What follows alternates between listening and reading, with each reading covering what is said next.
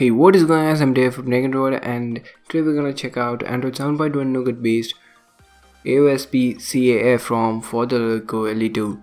So if you don't know about CAF, CAF stands for Code Aurora Forum and it is a place where Qualcomm releases the source codes for its processors um, like the latest ones and which means that since these ROMs are based on source codes available on CAF these ROMs are supposed to be much more snappier, faster and more efficient than other ROMs because they use the latest source codes. And this is a AOSP ROM which uses CAF source codes which means that it has got the best of both worlds because it's AOSP, no customization, no fe new features and since it's CAF it's gonna be snappy.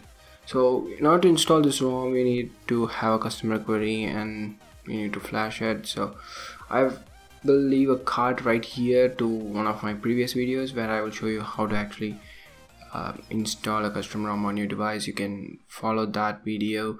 The link for the ROM will be in the description below. Download it and follow that tutorial if you want to install.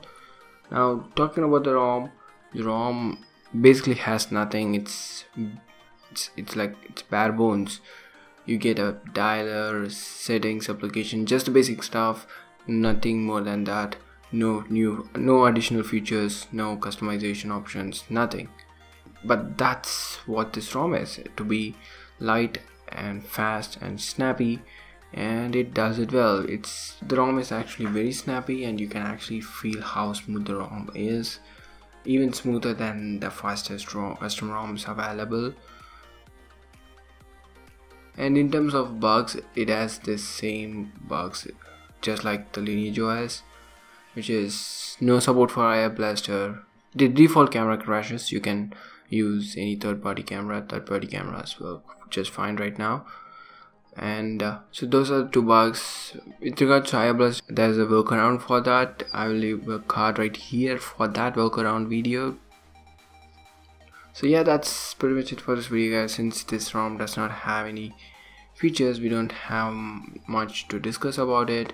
If you want pure stock experience and the best performance and efficiency out of your device install this ROM because it's it has got all the latest source codes from Qualcomm. Of course it's based on CAF so yeah I'll see you guys later. See ya